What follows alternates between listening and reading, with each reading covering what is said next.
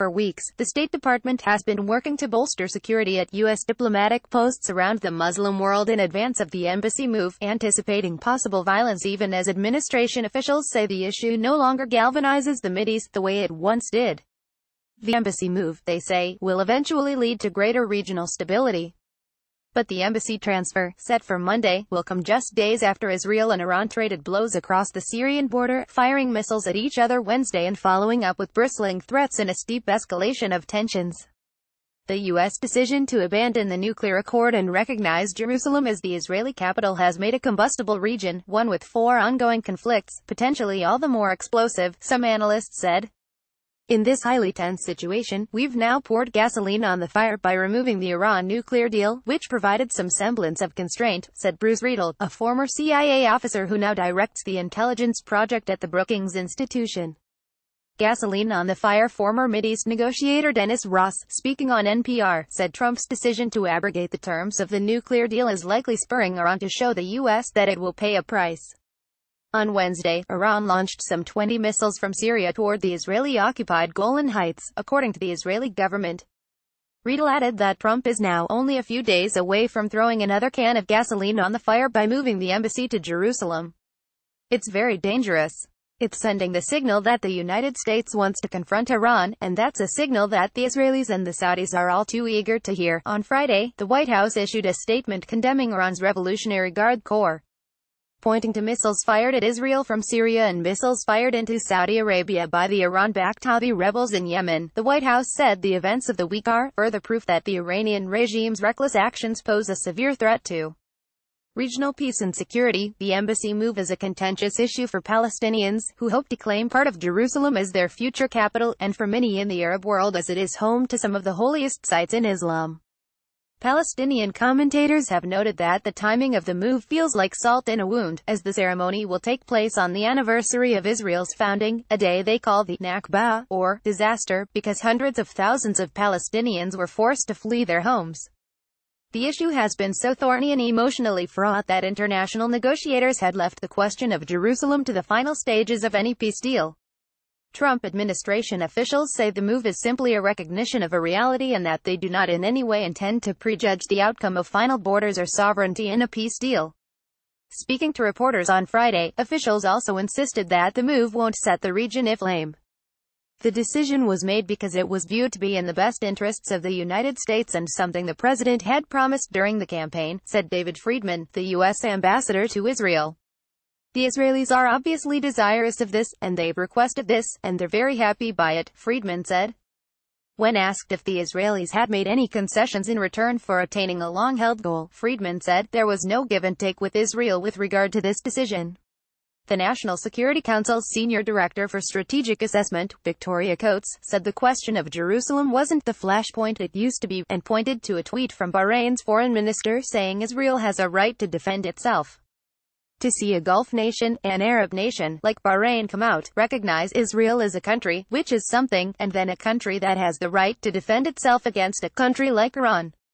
I think is really powerful, and to make it three days before the embassy move, I think it shows you that the president is absolutely doing the right thing here, Coates said.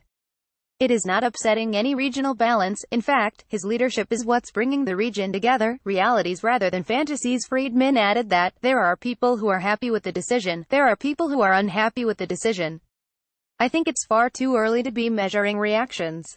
In the long run, he added, the administration is convinced that the Jerusalem decision creates an opportunity and a platform to proceed with a peace process on the basis of realities rather than fantasies, and we are fairly optimistic that this decision will ultimately create greater stability rather than less. Even so, the State Department's security wing has been preparing for weeks to bolster security at embassies throughout the Muslim world in the event there is violence, according to an administration official familiar with the planning. The region is already on edge. In the most direct confrontation between Israel and Iran to date, the arch-enemies exchanged fire for hours over the course of a volatile Wednesday night in the Golan Heights.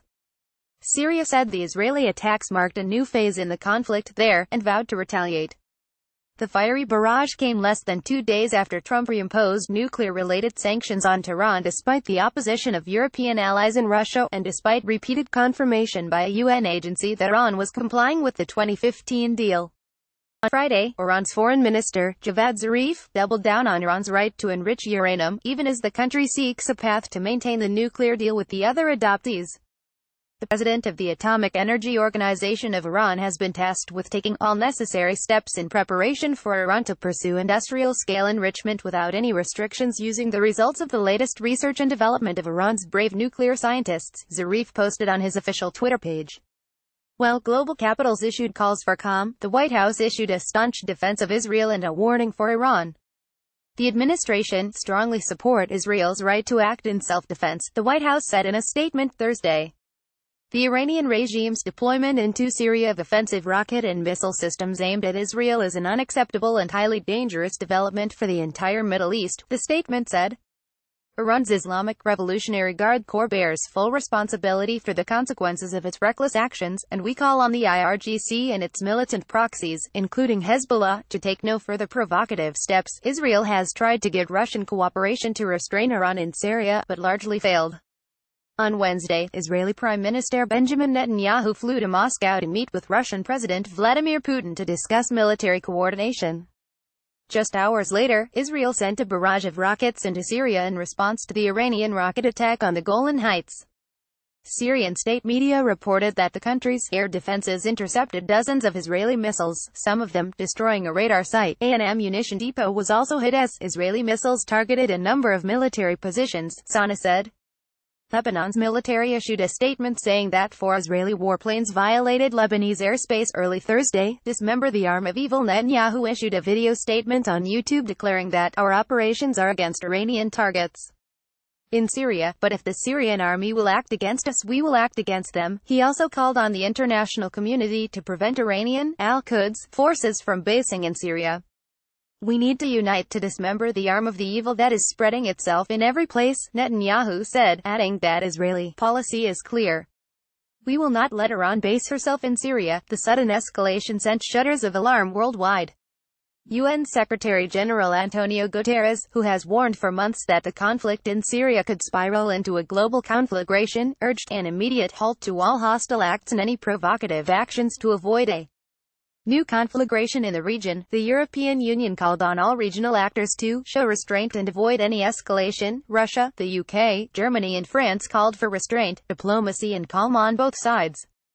The French Foreign Ministry said President Emmanuel Macron believes that the way to reduce tension lies in renewed negotiations with Iran on a broader deal that will include its nuclear activities and its ballistic missile program as well as the search for a solution to the crises in the region. Riedel noted that the U.S. was no longer playing the role it has traditionally occupied. In the Middle East, normally in this scenario, he said, the United States would be the leading voice counseling restraint, but that's no longer the case. Jamie Crawford in Washington, Hamdi Al-Khalili in Atlanta, Mike Schwartz and Elise Labott in Jerusalem, Nadine Schmidt in Berlin, Nada Bashir in London, Mary Ilyushina in Moscow, and Kristina Sgueglia and Richard Roth in New York contributed to this report.